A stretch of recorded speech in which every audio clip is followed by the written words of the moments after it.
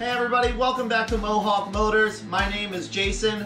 This is video two of the wiring and electrical conversion in the V6 to V8 Camaro swap project. Uh, I'm going to show you how I found the pinouts and information to work the V6 wire harness that I needed into the V8 harness and PCM. And I'm also going to show you how I routed the harness and got it all sorted out and tidy in the engine bay so I won't have to worry about the wiring once I get this thing up and running. Without any more chat, let's get right to it and let me show you how I did this stuff. Okay, everybody. So I want to show you how I, I, what my wife told me is called crosswalking. How I crosswalked the the wiring pinouts for these PCM connectors, converting the V6 Camaro to V8. So the the PCM connectors in the V6 car, one is blue and one is clear. And the PCM connectors in the Envoy, one is blue and one is green. So essentially, the blue connectors are mostly the same, and the green and clear are mostly the same. And I'll give a couple examples here. So in the clear connector from the V6 Camaro wire harness, clear connector pin number eight is a white wire for the engine speed signal.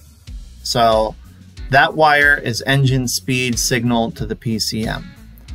So I need to find that terminal, that pin location in the Envoy harness, the Envoy connector. So I look, and because I'm cross-referencing, I believe the clear and green are pretty much the same place, different color. I see green 10 is engine speed signal, circuit 121, also a white wire. So I know because those two, that wire has the identical description, color, and circuit number in both harnesses, that all I need to do is put that white wire into pin 10 on the green connector of the Envoy harness. And that should tell the Envoy PCM what it needs to know. So let's do another one. I have another wire from the clear connector in the V6 Camaro harness. It was clear terminal 69. And in the Camaro harness, that is the fuel level sensor signal, primary. So I need to cross-reference that over, find the fuel lever, fuel level sensor signal primary in the Envoy connector list. On the Envoy, there it is. Pin 54 in the green connector is fuel level sensor signal primary. So I know that I can take that wire from the Camaro harness. If I plug it into pin 54 on the green connector, that will give the PCM the proper signal from the fuel level sensor. And I went through that harness that I pulled from the V6 Camaro. I matched up all of the pins that I pulled out of the PCM using that same process. I had a little bit of everything. I had some wires that I wasn't going to need. I had some wires that I needed to move to a different location in the connector. I think I had one or two wires that would need to be moved into the other connector. And I had some wires that just could be eliminated altogether from that Camaro portion of the harness. This, the wire harness information or the pinout list for the Envoy I found at lt1swap.com. There's a ton of good information on that website. Make sure you check it out if you're doing any kind of wiring work or, or wiring troubleshooting. The Camaro harness pinout uh, I found through a Camaro forum. These things are old enough. You can find all this information readily available on the internet. Just use whatever search engine you prefer, look for it, and you can find it. All right, next day, I'm getting back after it on the wiring.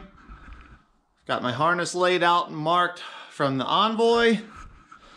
I've got the pieces I need from the Malibu, or sorry, the Impala. And somewhere around here, over on the car, I've got my Camaro pieces that I need. So at this point, I'm going to start laying the Envoy harness onto the engine and getting figured out where I need to make connections, where I need to start splicing things in.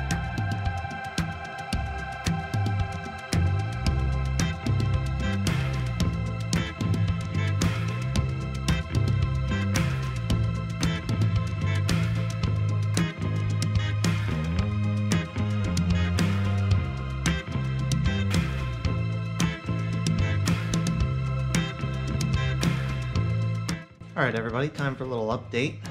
So I've been plugging away on this thing now.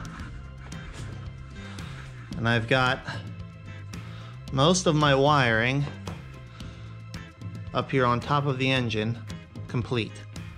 So all my fuel injectors, my ignition coils, throttle body, map sensor, uh, coolant temp sensor, control wires for the alternator, and then injectors and coils on this side as well. All wired in, wires routed really nicely. Everything's spliced into where I need it spliced in. So I, I'm at the point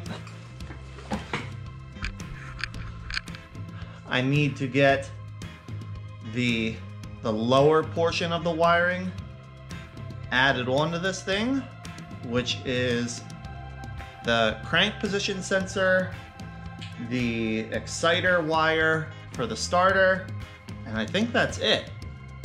Um, I'm also at the point that I can remove what I don't need from the PCM connectors and get the Camaro harness piece that I have spliced in and put where it needs to go. So uh, that's going to require a few more splices of the battery feed wires, the battery, the 12 volt positive wires that control or that feed the injectors and the coil packs, uh, and, and some sensors.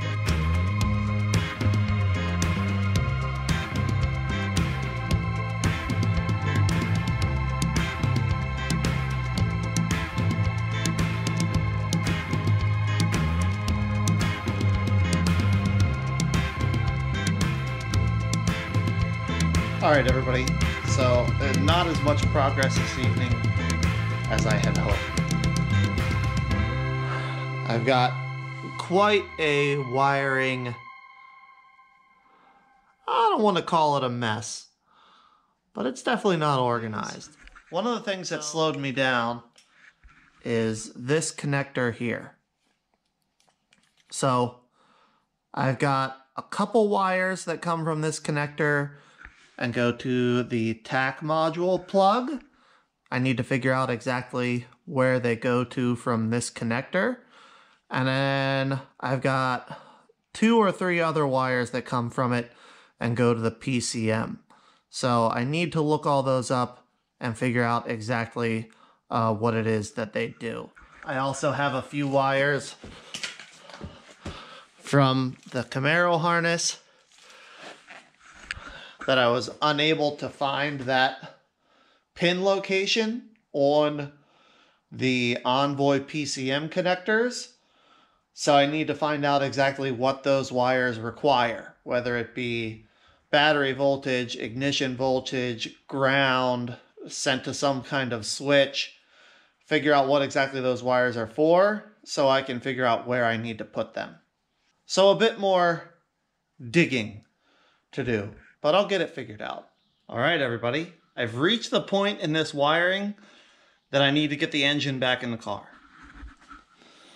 So pretty much all of my top end wiring is, routed, connected, uh, where I want it to be.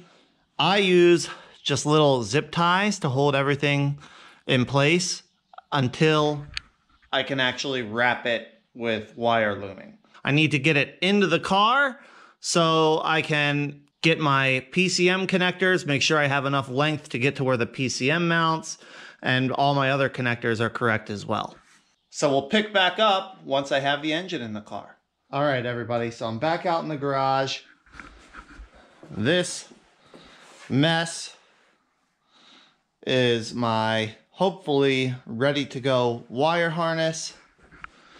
I'm still going to need to make some ground and power connections, but I think I've got all of my crosswalking and everything else figured out and done.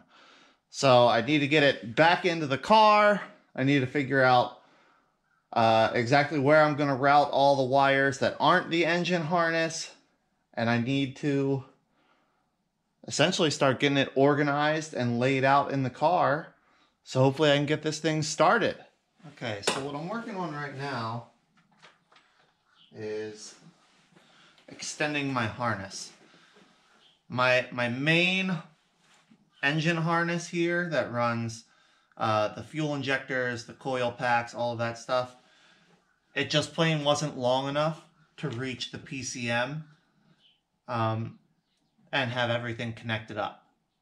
So I didn't want to do this, but I find that it's necessary. I'm extending all of those wires a bit so that not only will I be able to keep the wire harness tucked up tight against the firewall in the back where it's out of sight, but I'll have plenty of slack.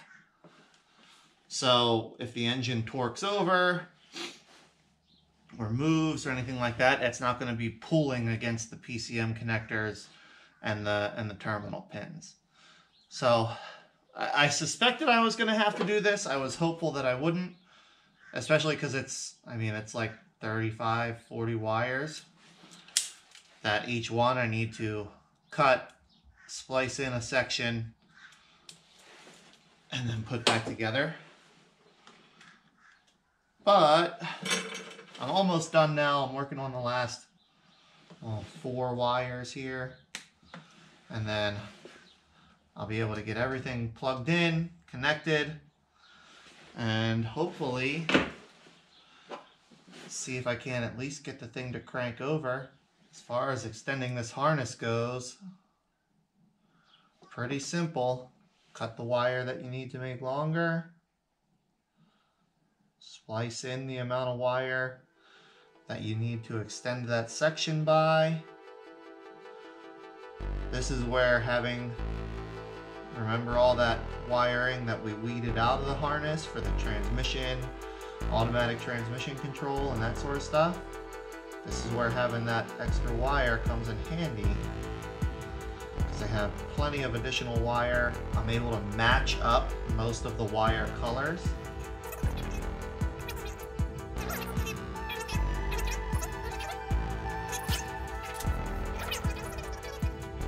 get these last few wires spliced together here.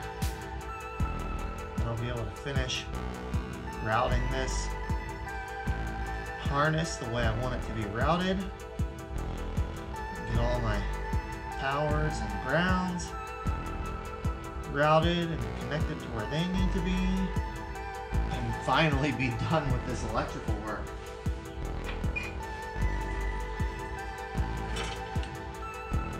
It's not glamorous, but doable. Alright, well, I'm out of time for today, but here's where I'm leaving it. Got my wiring run. Of course, this will all get loomed, but it runs right down. I'll be able to conceal most of it right under or near the fuel rail. Runs back to the back to pick up my cam position sensor, oil pressure sensor, and knock sensor then comes across over to this side. These injectors and ignition wires join up. And then my main harness here is actually gonna get tucked up over in the back here. I need to get my, uh, my heater core hoses plumbed first. And then I'll be able to tuck my wire right up over top of those. It'll be out of sight. I think it'll look really nice. Uh, I'll be able to put whatever excess wire I have there's actually quite a bit of space back here by the PCM between the AC box and the firewall, so I'll be able to tuck whatever excess wiring I have back in there. So there'll be very little exposed wiring in the engine compartment, which I think will look nice. And then my starter exciter and crankshaft position sensors, those are actually going to run in and I'll drop them off the harness back here at the back to go down and actually connect with the starter. So again, there'll be very little exposed wire. I think it's going to look really good, be very clean. And uh, I just need to finish actually running it and get some fuel hooked up to this thing so I can do a test fire before I put looming and get it all wrapped up and and looking really pretty. Alright team, that's it for this video. Thank you so much for watching. I hope you find this information useful and helpful if you're doing something like this or, or even just swapping a V8 and LS into some other vehicle. And I really appreciate all of you watching. Uh, thanks so much to all the new subscribers and everybody commenting and liking the videos. That really does help the channel out and gives me a lot of uh, encouragement and helps me share something that I love doing. So thanks again, and until the next video, take care.